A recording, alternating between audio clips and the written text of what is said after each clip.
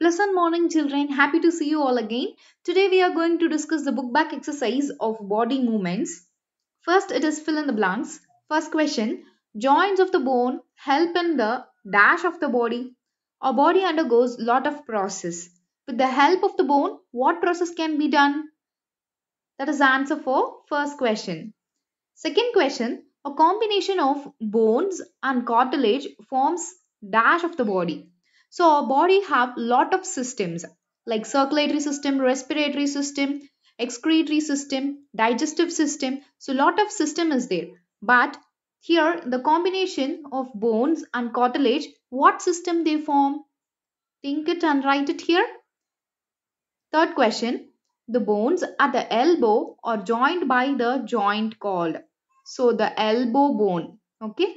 So elbows are joined by the joint call. What is the kind of joint? We have learnt about four types of joint. Ball and socket joint, pivotal joint, hinge joint and fixed joint. So among these four, one is the right answer. Think wisely and write it. Fourth question. The contraction of the dash pulls the bone during the movement. So while we are moving, something is get contracted in our body. What is that? That is the answer for this question.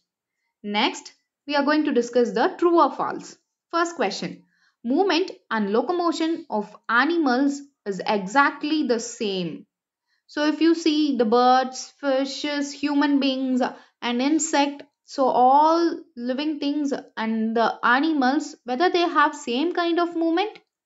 Think wisely and write the answer. Second question, the cartilages are harder than bones. Cartilage, where it is present, you know the best example that it is ear bone, right? So whether it is harder than bones, check it off and write the correct answer. Third question, the finger bones do not have joints. We know that with the help of the joints we can able to bend and we can make a movement there, right? So here they have given that finger bones do not have joints. So think whether it is true or false and write the right answer.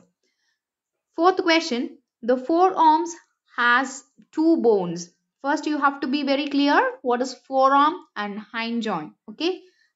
So forearm it is two bones. So think wisely and write the answer. Final question. Cockroach have an outer skeleton we have learned about the cockroaches. So whether they have the outer skeleton or not. Think wisely and write. Next, it is match the following. So two columns it is given here. I am reading the first column. Upper jaw, fish, ribs, snail, cockroach. And second column, you have to match these two columns. Okay. I am reading the options in second column. Have fins on the body. So it is related to fish.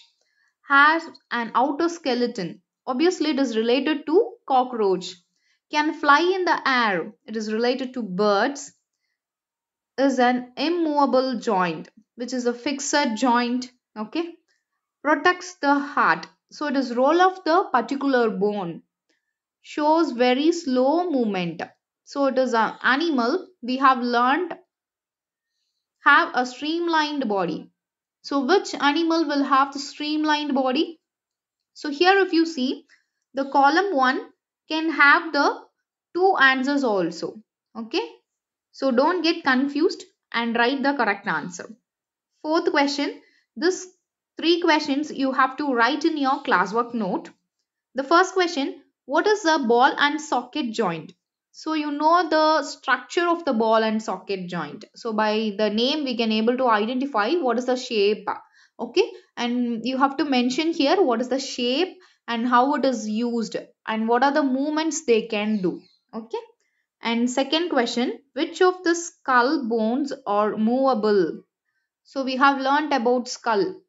Skull, it is actually the fixed joint, but only one joint we can able to move. So write that name of that joint okay second third question why can our elbow do not move backwards so we know that our elbow is made up of particular joint which can able to move only one direction.